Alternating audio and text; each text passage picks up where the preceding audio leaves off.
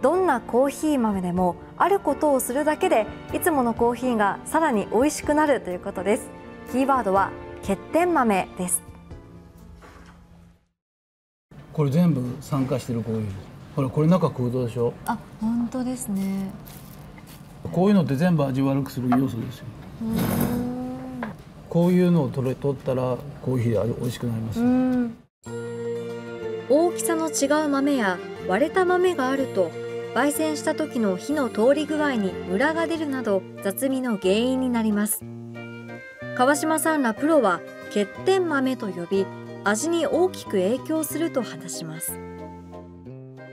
コーヒーを豆で買って、はい、お家の場合に時間的余裕があったらこういうのを取り除いたら美味しくなります、うん、大学時代の4年間カフェでアルバイトをしていた経験を持ち今でも自分で豆をひいて入れたコーヒーを1日に3杯欠かさず飲んでいる私並木がこのお店のこだわりの入れ方を教わりました。レクチャーしてくれるのは店長の中杉文香さんです。36g こちらですね。こちらで測っていただいてもいいですか？はいわかりました。お願いいたします、2杯分の 36g をきっちり測ってみるに。と思いきや。欠点豆というちょっと形が崩れてしまっていたり。ここでもまた欠点豆がないか引く直前に最終チェックです。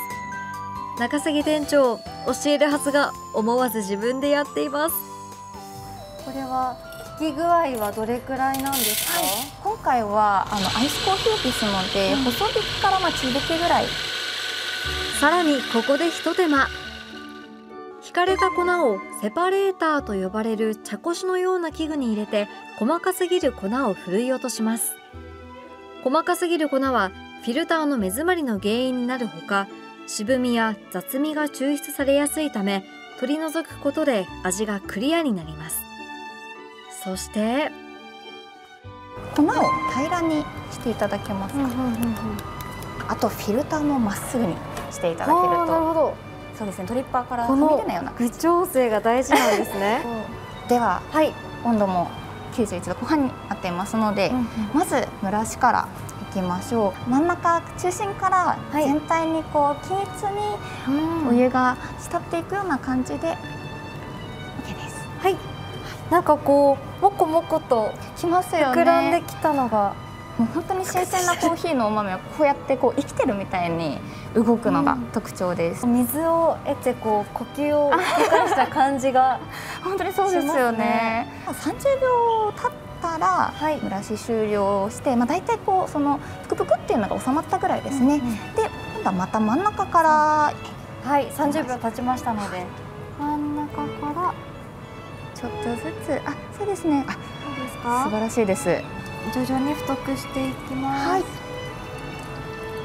でもう少し周りもこうやっていっていただいて。そうですね。ちょっとフィルターにはかからないぐらいで。わかりました、はい、フィルターにはかからず。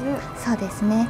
でこちら 200g で終わりにするのでもう少しですね、はい、では200で左にいきます。はいはい、おこれで今熱々のコーヒーの液体ができたので、はい、これをキンキンに冷やした氷でそうだアイスコーヒーだ。はい。失礼いたします、はい、えっとコーヒー豆は 36g でお湯は出来高は200そうですね。ね。200ml まで。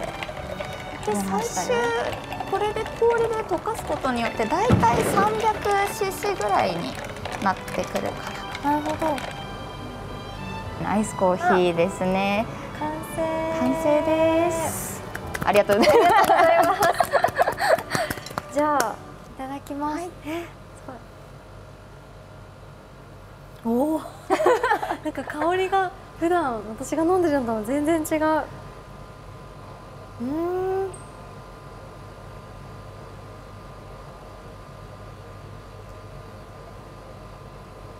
美味しい。美味しい本当にフルーツのような味というか風味がしますね、はい、なんかすごい大事に飲みたいです この一杯を